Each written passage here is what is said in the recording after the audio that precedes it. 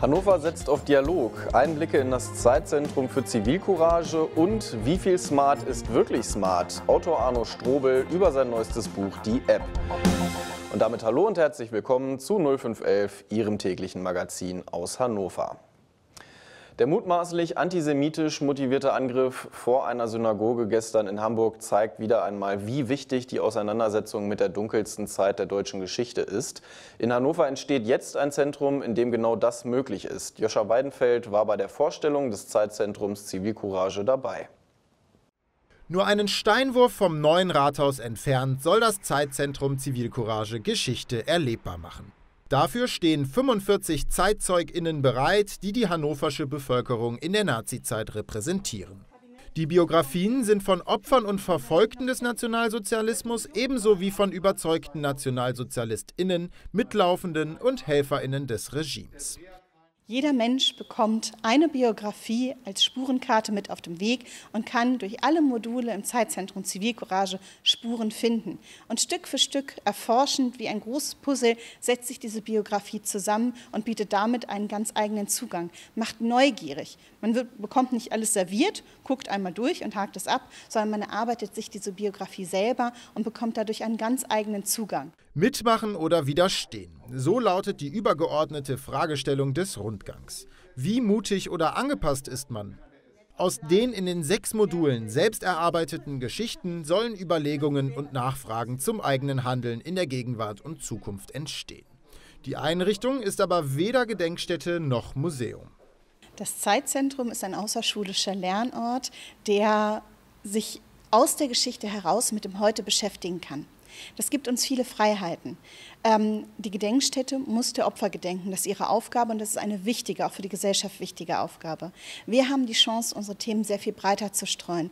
Wir können an diesem unbelasteten Ort sowohl Opferbiografien als auch Tätergeschichten erzählen und uns damit eben auch fragen, wie war die Struktur des Staates und was sind Diktaturen allgemein und wie verhalten sich Menschen in Diktaturen. Die Planungsphase einer solchen Einrichtung reicht schon viele Jahre zurück. Der Rat- und Kulturausschuss der Landeshauptstadt hat das Vorhaben parteiübergreifend unterstützt. Dies nicht zuletzt vor dem Hintergrund, dass in den vergangenen Jahren Fremdenfeindlichkeit, offener und latenter Antisemitismus und rechtsextreme Hetze lauter wurde. Das Zeitzentrum Zivilcourage ist in dieser Form einzigartig in Deutschland. Das Besondere am hannoverschen Zeitzentrum Zivilcourage ist, dass wir dass der biografische Zugang zu Lokalgeschichte konsequent über einzelne Biografien erschlossen wird. Dieser Zugang ist in der Weise meines Wissens nirgendwo anders zu finden. Das Alleinstellungsmerkmal ist, dass eine mal, reiche äh, Besuchererfahrung stattfindet, mithilfe einer detektivischen Personenrecherche. Das Zeitzentrum Zivilcourage ist voraussichtlich ab dem Anfang des kommenden Jahres für interessierte Besucherinnen und Besucher geöffnet. Und wir kommen zu den Meldungen des Tages, jetzt für Sie zusammengefasst von Martin Schlüter. Vor allem städtische Einrichtungen waren heute in Hannover von Streik betroffen. Im Rahmen der aktuellen Tarifverhandlungen hatte die Gewerkschaft Verdi erneut zu Warnstreiks im öffentlichen Dienst aufgerufen. Der Fachbereich Umwelt und Stadtgrün und das Friedhofsbüro Engesode blieben geschlossen.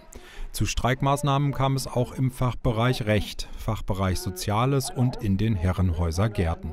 Alle Friedhöfe und Gärten einschließlich der Herrenhäusergärten blieben jedoch geöffnet. Am Mittwoch wird dann voraussichtlich wieder die Istra bestreikt. Ein neues Stadtportal für Hannover aus Hannover ist heute online gegangen. Unter www.gemeinsamhannover.de können sich Unternehmen darstellen und die Bürgerinnen sich gezielt über digitale Angebote lokaler Unternehmen informieren. Hannover stärke mit dem Online-Portal Gemeinsam für Hannover den digitalen Standort und helfe gleichzeitig den Gewerbetreibenden vor Ort. Gleich zu Beginn der schweren wirtschaftlichen Krise durch Covid-19 hat sich eine große Allianz aus Vereinen, Unternehmen, Organisationen und Bürgerinnen hinter die lokale Wirtschaft gestellt und für den Konsum in der eigenen Stadt geworben. Im vergangenen Monat wurde in Nordrhein-Westfalen eine Razzia durchgeführt, bei der insgesamt 34 Dienststellen und Privatwohnungen durchsucht wurden und die Ergebnisse sind erschreckend. Rechtsextreme Netzwerke bei der Polizei scheinen keine Einzelfälle zu sein und man darf annehmen, dass diese Tendenz über die Landesgrenzen hinausgreift. Darüber möchte ich mich mit der innenpolitischen Sprecherin der Grünen im Niedersächsischen Landtag Susanne Menge unterhalten.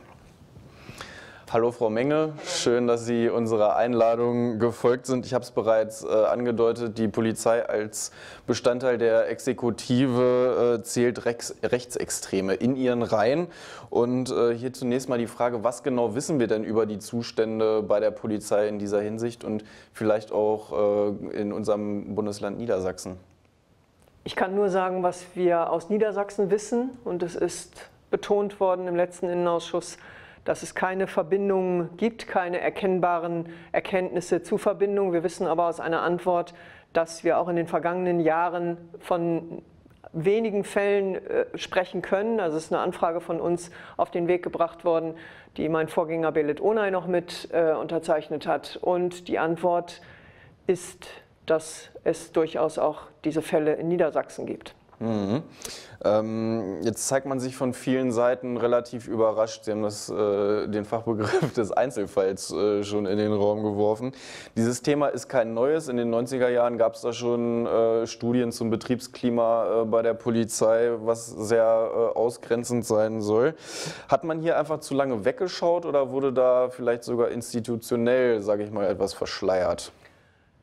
Ich glaube ja, weil ich aus einer Berufsgruppe komme, auch, bin auch verbeamtet und ich bin es gewohnt, dass man sich Auseinandersetzungen stellt, dass man sich auch Problemen stellt und dass man auch offen ist für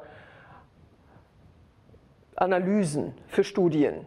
Das ist bei unserer Polizei offenbar ein ganz schwieriges Feld. Eine Exekutivkraft, die von sich behauptet, äh, wir, haben, wir sind die Starken, wir haben das im Griff und wir stehen auf dem Boden äh, unserer Demokratie und wir verteidigen diesen Rechtsstaat, das, das kann man äh, so nach draußen tragen, aber die Polizei ist ja nicht ein völlig anderes Abbild von gesellschaftlichem Querschnitt. Und wenn wir in der Gesellschaft Diskussionen führen und wenn wir, sie, wenn wir politische Auseinandersetzungen haben, dann ist das selbstverständlich auch ein Thema in der Polizei wie in jeder anderen Berufsgruppe. Und ich glaube wirklich, dass es notwendig ist, da genauer hinzugucken und auch innerhalb der Polizei solche Auseinandersetzungen zu führen. Wie soll das sonst funktionieren, wenn ich Fehler, eine Fehlerkultur ablehne oder wenn ich eine, äh, eine Auseinandersetzung nicht so gerne möchte? Ich habe dann irgendwann mit den großen Fehlern zu kämpfen und das müssen wir verhindern und da müssen wir alle mitnehmen und auch die Polizei. Und ich glaube auch, dass der Großteil der Polizei offen ist für so etwas. Ja, in dieser Hinsicht wird ja auch häufig die Datenlage bemängelt und eine äh, Studie oder der Ruf nach einer Studie zu Racial Profiling wurde ja auch relativ souverän vom Bundesinnenminister Horst Seehofer abgeschmettert. Ähm, was muss nun unternommen werden, um Aufklärung zu schaffen oder anders gefragt, Horst Seehofer in dieser Debatte umzustimmen? Die Innenminister, Innenministerinnen der Länder müssen aktiv werden. Das ist Länderaufgabe in erster Linie. Wenn der Bund nicht mitzieht, dann müssen wir zusammenhalten und da müssen wir gemeinsam was auf die Beine stellen, gemeinsam mit der Polizei. Racial Profiling ist eine Sache, auf dem, Grund, auf den, auf dem Boden des Grundgesetzes zu stehen ist eine andere und Rechtsstaatlichkeit auch nach außen zu vertreten. Das heißt, wir müssen beim Racial Profiling arbeiten, was in der Ausbildung die Fragestellung zu Diversität betrifft, was die Fragestellung zu anderen Kulturen betrifft. Also diesen ganzen äh, Bereich äh, beleuchten, Perspektive wechseln, aber die Rechtsstaatlichkeit zu vertreten in der Exekutive als Polizist, als Beamter dieses Landes oder Beamtin dieses Landes, heißt, ich muss nach außen diesen Staat vertreten und das, was im Grundgesetz verankert ist. Und das ist eine politische Debatte und das ist eine politische Bildungsaufgabe. Offenbar haben wir dieses Problem in der Gesellschaft und sie trifft alle, also auch die Polizei. Die müssen gemeinsam mit uns daran arbeiten, dass sich dieses Bild wie selbstverständlich wieder in der Öffentlichkeit vertreten lässt. Mhm. Ja, klingt für mich, als müssten wir aus der Perspektive der sich häufenden Einzelfälle rauskommen und äh, ja, mal wirklich hinter die Oberfläche gucken. Susanne Menge, vielen Dank für Ihre Einschätzung. Gerne. Ja, während man vor ein paar Jahrzehnten noch gegen Bürgerzählungen demonstrierte, nutzen mittlerweile immer mehr Menschen freiwillig Anwendungen, die das Leben vermeintlich smarter machen sollen, aber eben auch Daten über die Privatsphäre sammeln. So auch bei den Protagonisten in dem neuesten Buch von Arno Strobel, die App. Wir haben den Bestsellerautor bei seiner Lesung in der Apostelkirche besucht und zu seinem aktuellen Werk befragt. Ein bisschen unheimlich sieht sie ja schon aus, die Apostelkirche Ende September. In ihrem Inneren ging es nicht minder unheimlich zu, denn Arno Strobel hat aus seinem neuen Psychothriller Die App gelesen. In dem Buch geht es um Adam, einem Smart Home System, das im Zusammenhang mit brutalen Ermordungen steht. Wie man es von Strobel gewohnt ist, will man sich beim Lesen der Geschichte um den Chirurgen Hendrik manchmal fast die Hände vors Gesicht schlagen. Wie muss man als Autor denn drauf sein, um über so extreme Gräueltaten zu schreiben? Ich glaube, letztendlich wäre fast jeder dazu in der Lage, wenn er sich darauf einlassen würde. Man hat, ich glaube, das Unterbewusstsein baut so eine Hemmschwelle auf, dass man sich über gewisse Dinge einfach nicht nähere Gedanken macht. Warum auch im alltäglichen Leben? Mein Unterbewusstsein weiß ja, womit ich mein Geld verdiene und dass ich diese Gedanken machen muss, um meine Geschichten schreiben zu können. Und deswegen glaube ich, kann ich das auch. Und deswegen schaffe ich es auch, mich fallen zu lassen. Ich habe für mich immer die Entschuldigung, ich mache mir diese grausigen Gedanken teilweise, weil ich sie für meinen Beruf brauche. Was sich jetzt wohl jeder fragt, der schon einmal einen Strobel-Roman gelesen hat, wurde jemals eine Figur entwickelt, bei der von Anfang an klar war, die macht es nicht bis zum Ende? Ja, das kommt, das kommt durchaus vor. Es, kommt also, es gibt also tatsächlich Figuren, die ich ein, bei der Einführung, wo ich bei der Einführung schon weiß, äh, es tut mir furchtbar leid, aber du wirst nicht lange überleben. Das weiß ich in der Tat, ja. In Die App passieren eine Reihe schrecklicher Dinge. Warum lesen denn trotzdem so viele Menschen das Buch? Steckt in jedem Strobeleser etwas Böses? Nein, ich glaube, es ist tatsächlich äh, dieser Effekt, dass man auf der einen Seite über ganz furchtbar schlimme Dinge liest, auf der anderen Seite sich selbst aber in absoluter Sicherheit zu Hause gemütlich auf der Couch weiß und weiß, es ist nur eine erfundene Geschichte. Ich glaube, genau diese, diese Fallhöhe zwischen dem realen Leben, gemütlichen Leben zu Hause und den schlimmen Dingen, die nur fiktiv im Buch passieren, glaubt man ja, äh, ich glaube, das macht die Faszination an der Sache aus. Für die meisten seiner Bücher nimmt Strobel sich vier bis fünf Monate Zeit. Zu seinem Bedauern fängt er meist jedoch erst drei Monate vor dem Abgabedatum an. Aber am besten arbeitet er unter Zeitdruck, sagt er. Nebenbei hat er für Matthias Schweighöfer die Serie You Are Wanted geschrieben und zusammen mit dem Krimi-Autoren Andreas Winkelmann produziert er den Podcast Zwei Verbrecher. Mir macht meine Arbeit sehr, sehr großen Spaß. Es macht mir großen Spaß, meine Bücher zu schreiben.